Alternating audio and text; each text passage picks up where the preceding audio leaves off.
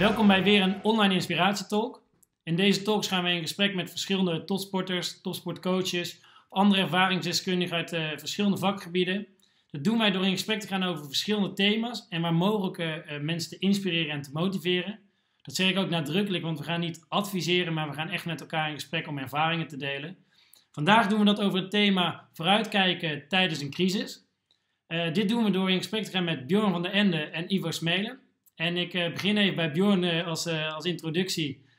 ja, Olympisch roeier. Ehm, na de Olympische Spelen geweest in 2016 in, in Rio. En nu met de mannen acht waren gekwalificeerd voor, voor Tokio 2020. Maar ja, het wordt Tokio 2021. Superleuk om ook met jou te praten over ja, wat voor veranderingen heeft het allemaal voor jullie team, voor jullie groepen teweeg gebracht.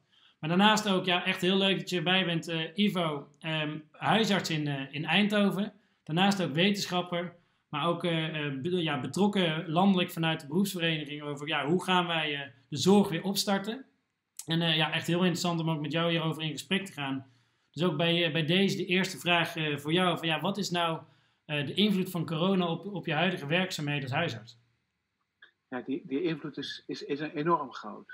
We zijn echt de, productie is zeker, uh, gewone productie, is gezakt op 20, 25 procent uh, uh, van normaal. En we moesten het organiseren dat we en goed keken naar, heeft iemand corona of een verdenking op corona? En, en hoe, hoe, hoe, benaderen we die? Hoe beschermen we onszelf? Hoe organiseren we dat spreekuur? En daarnaast nu de hele grote uitdaging van mens, dat we meer voldoende mensen zien. Want de mensen gaan niet meer naar de dokter klachten blijven, uh, die blijven uh, en, en, diagnoses worden niet meer gesteld. Heel goed voorbeeld is uh, met kankerdiagnoses. Die worden veel te weinig op het ogenblik gesteld. Dus een daling van 40 tot 50 procent. Gelukkig trekt dat nu weer aan, in de zin dat mensen zich weer melden en dat we weer kunnen verwijzen. Maar dat is natuurlijk een hele zorgwekkende ontwikkeling. Ja. En pak hem ook even bij, bij jou, Björn. Wat is voor jullie, uh, ja, wat is eigenlijk de impact en uh, invloed van corona op, jou, op jouw huidige ja, sport in, in dit geval? Ja, de, dat is enorm groot natuurlijk. Uh, het begon natuurlijk met het uitstellen van de Olympische Spelen. De, het, uiteindelijk zou dat, dat is natuurlijk nu met een jaar verplaatst. en wij stonden aan het begin van ons seizoen. Ja. En toen, wij, toen het nieuws kwam dat corona dus met al de maatregelen en in de hele wereld, dus met de besmettingen, zijn alle, uh, al onze wedstrijden afgelast voor dit jaar. Er staat er nog eentje in oktober. Eh, en dat is nog maar de vraag of die doorgaat. Dus het kan zo zijn dat je dus een heel jaar geen wedstrijden hebt. En natuurlijk als topsport heb je wel een doel nodig. Uh, en ook wel een iets sneller doel dan over een jaar. En ehm, ja, dus dat is wel heel erg schakelen met z'n allen. Om te kijken van dat we dit, hoe we dit, dit, dit jaar door gaan komen. Ja, mooi. En Ivo, wat is, heb je ook gemerkt dat deze verandering ook ja, heel snel uh, tot positieve dingen heeft kunnen leiden? Ja, uh, ik zeg ook altijd maar, ook in ons team, een crisis is er ook een kans. En je merkte ook, uh, we begonnen met, oké, okay, corona komt eraan. Toen was de lockdown er nog niet. Maar meteen, elke ochtend om acht uur beginnen met teammeeting met informatie uitwisselen. Wat zijn de nieuwste, wat is het laatste nieuws? Moeten we ons beleid aanpassen? Hoe gaan we om met de vragen aan de telefoon? Hoe gaan we om met, met koorts, met hoesten? Eh, wie gaat die zien? We noemen van een coronadokter, een coronaspreekuur uh, opzetten. Dus dat, dat is, uh, gaf ook echt een bijgevoel. hè? Dus het liep ook in het team. iedereen was ook meteen ja, allemaal input, assistenten, verpleegkundigen, artsen, alles gelijk. Echt goed voor, voor de hele teamvorming.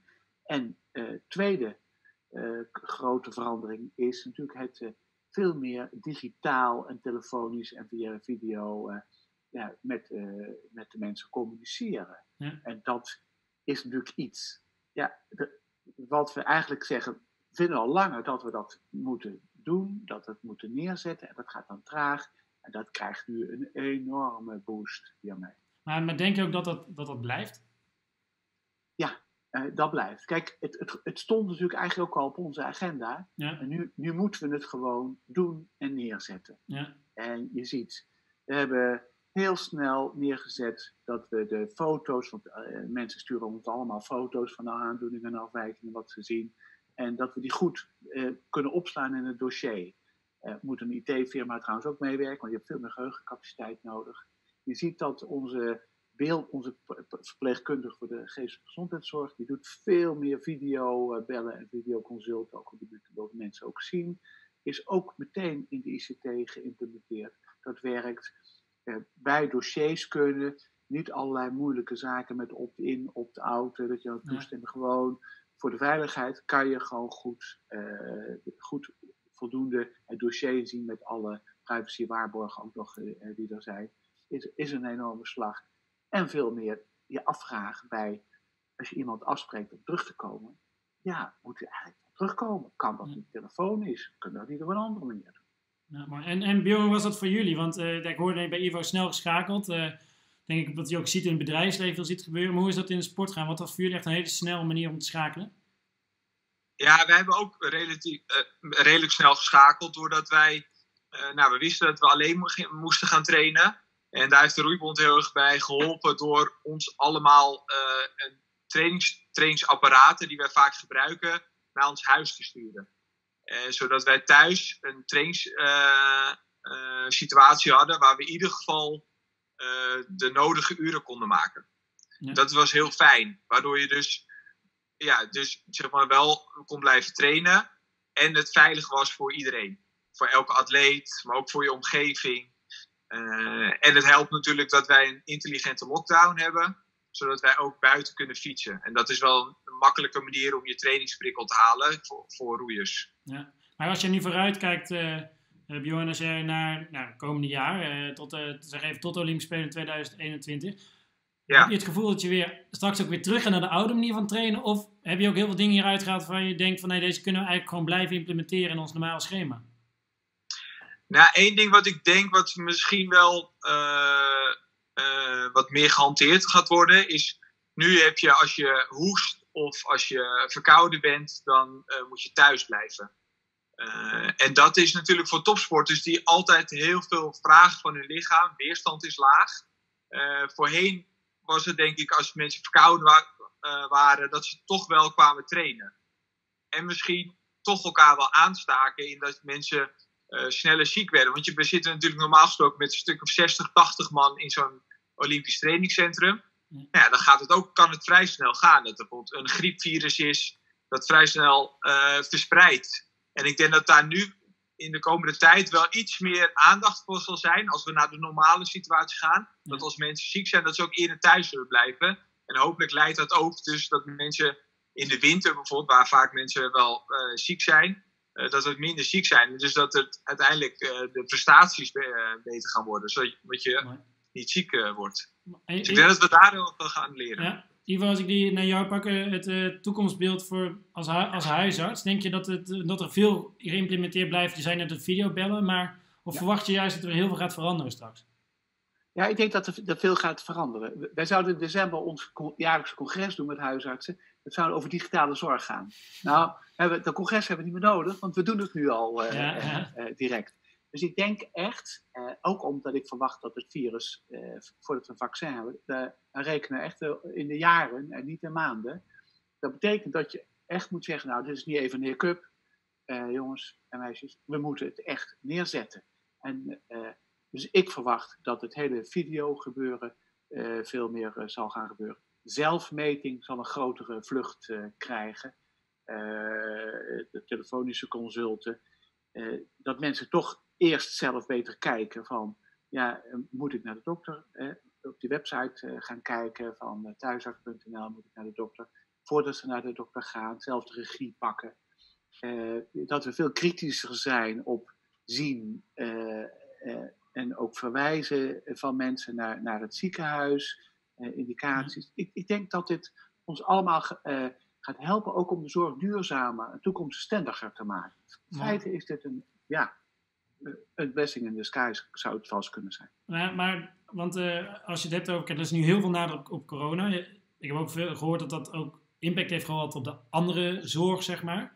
Uh, maar wat, wat is je beeld daarvan? Wat er straks kan gaan gebeuren als, als het corona misschien iets uh, minder sterk aanwezig is en, en de andere weer opkomt? Ja, dan moeten we onze schouders, dat, want dat zie je nu al, hè? we zijn dus druk bezig met die herstart van onze zorg. dat betekent dat we we moeten zorgen dat we de vraag van nu aan kunnen. En ook de vraag van gisteren en vorige week en de weken daarvoor. En een deel van de vraag, en dat is misschien voor ons allemaal wel goed, dat we denken, oh, het was toch overgegaan, zonder dat ik de dokter daar uh, voor praktijk daarvoor belde of naar de eerste hulp ging. Dus dat, dat is goed, dat verdwijnt.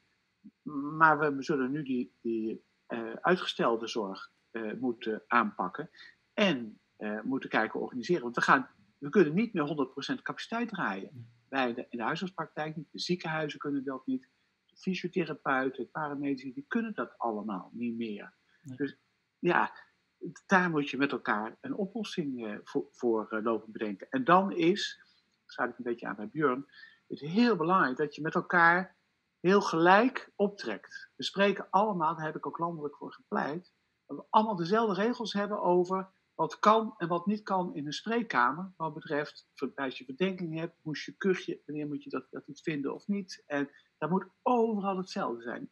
Dus dat is eigenlijk goed ook voor samenwerking tussen paramedici, uh, de, eerste lijn, ziekenhuizen, verpleeghuizen. Hartstikke goed. Nou, Björn, als ik die, als ik die naar jou pak, want uh, jij zegt net, ja, heel veel dingen zijn niet doorgaan, heel veel wedstrijden zijn niet doorgaan. Is het mogelijk om voor jullie nog een inhaalslag te gaan maken daarin? Ja, kijk, weet, je wat het is? Je kan het, als we het positieve van dit uh, virus dan moeten uh, voor onszelf uh, bedenken, waar kunnen we de winst pakken, is dat we natuurlijk nog een jaar langer met elkaar kunnen trainen. we hopen natuurlijk dat we binnenkort weer in de acht kunnen trainen. Dat is op dit moment niet zo. Wij varen nu in tweetjes, wat sinds kort mogelijk, ja. in ieder geval dat wat weer mag. Dus we mogen weer roeien alleen in tweetjes. Dus we hopen binnenkort ook weer in de achter mogen. Maar dat we, we hebben natuurlijk een jaar langer om met elkaar te trainen. Ja. En dat is natuurlijk wel weer een voordeel. Dat je natuurlijk nog meer op elkaar ingespeeld kan raken. En uiteindelijk hopelijk dus dat, dat, ja, dat we nog een stap gaan zetten richting die gouden medaille. Ja. ja. En denk dat is... Jullie, ja. denk, denkt u nog wel op, op uh, ik, ik, gaf aan dat bij de zorg de uitdaging is: kunnen we nog dat oude niveau halen? En, en hoe doen we dat?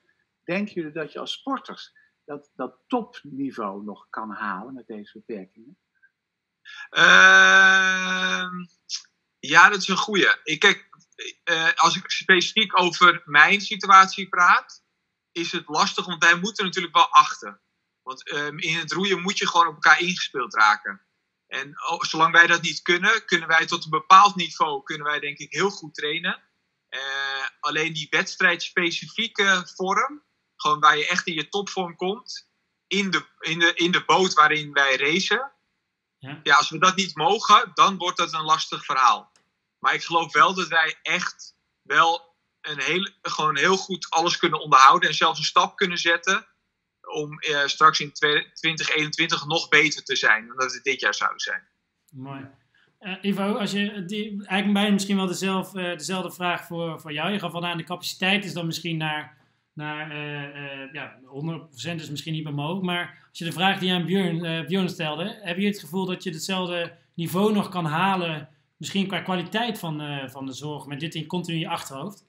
Ja, ik, ik denk, uh, de, de, we, we, halen 80% als we het blijven doen op de wijze zoals we deden. Ja. Dus we moeten, uh, als we naar 100% willen, en ik denk wel dat dat kan, dan moeten we innoveren. Dan moeten we vernieuwen, dan moeten we die verandering. Zonder die veranderingen gaan we het niet redden. Dus, dus ja, uh, dat is de kans die er ook in zit. We moeten die innovaties nu neerzetten en daarmee verder gaan. En ben je daar zelf... Sorry, ja, Johan, zeg, vraag maar. Zijn, uh, de huisartsen daar, zijn alle huisartsen daar klaar voor? Voor die ja, digitalisering, zal ik het maar noemen? Ja. Elke verandering heb je de voorlopers, je hebt de middelgroep en de achterblijvers. De achterblijvers zijn er niet klaar voor, dat kan ik je zeggen. Ja. Maar die zullen moeten. Dat is, dat is ook wel het goede. We kunnen niet met elkaar eindeloos gaan discussiëren en polveren om te zeggen: uh, ja, weet je dit, weet je dat. Weet je, we moeten gewoon, want die druk is er en die verantwoordelijkheid is er en die zorgvraag is er. Dus dan gaan we ook die kant op. Hè? En vanuit, als je vanuit ziet dat we als Nederlanders allemaal laat het gedaan hebben waarvan we dachten, daar kunnen wij toch niet zo, maar we hebben het toch weer met elkaar gedaan. Nee, maar ik vind het wel interessant, want vanuit de, ja, de, de beroepsvereniging uh, waar je nou bij betrokken bent, um, is het dat je mensen daarin mee kan krijgen? Zijn er, hoe, hoe probeer je dat binnen de, binnen de zorg te organiseren? Dat, dat inderdaad misschien de, de vraag die Björn stelt, diegene die niet direct mee kunnen, dat je die toch meekrijgt? Ja, dan is het ook heel belangrijk dat je landelijk goed afspreekt en met alle partijen het met elkaar eens bent en hele duidelijke regels neerzet van wat kan en wat niet kan en hoe je het moet organiseren en hulpmiddelen aanreikt. En dan daalt dat in in het land. En dan zie je dat in regio's, eh, acht belangrijke regio's, regio's, daar wordt het dan verder uitgewerkt. En dan wordt dat gecommuniceerd. En dan wordt het ook, ik werk ook veel met patiëntenorganisaties uh, samen, die communiceren ook. Die communiceren datzelfde ook. Dus de patiënten gaan er ook druk op uit, hoeven de vragen over stellen. Die willen dingen, dat, dat is dan ook goed. En ja, dat samenspel, dus dat teamwork eigenlijk ook op landelijk niveau, van landelijk, regionaal naar lokaal, is daar dan heel erg belangrijk. En, en daar, daarop inhakend, um, dus merk je dat, dat, we nu, dat we nu nog heel veel bezig zijn met, oké, laten we ja, dit brandje, ja, het is een brandje, het is een hele grote brand, maar laten we die blussen? Of merk je ook wel dat, daar, dat dat ook wel in de mindset al verandert? Dat ze echt al bezig zijn met de periode na corona, als we hem zo mogen noemen.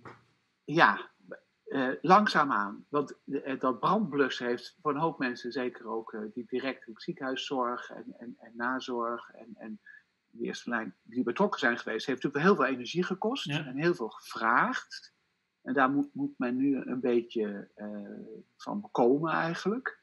Maar je ziet dat uh, uh, tegelijkertijd al heel veel energie wordt gestopt in van hoe gaan we het straks aan anders doen, ziekenhuizen, fysiotherapiepraktijken, huisartspraktijken. Iedereen is actief om te denken voorwaarts, voorwaarts, voorwaarts. We kunnen hier niet, niet in blijven zitten. En je ziet ook wel dat de corona vraag, om het maar zo te noemen, dus de druk van corona neemt enorm af ook. Dus heel veel praktijken. Het is ook wel dat mensen hebben ook wel weer behoefte om vooruit, vooruit, vooruit te gaan. En dat is, dat is goed. Dat is mooi. En, en Bjorn, hoe zit dat, hoe zit dat bij jou? Want uh, ik vind het wel mooi uit je zegt vanuit landelijk. Nou, jij hebt vanuit NRC en NSF. Hoe merk je dat die communicatie verloopt richting jullie? Ja, ik denk dat dat heel goed. En ik kan me heel erg met Ivo aansluiten met, weet je, vooruit, vooruit, vooruit zo zitten wij, zo zitten wij er ook in.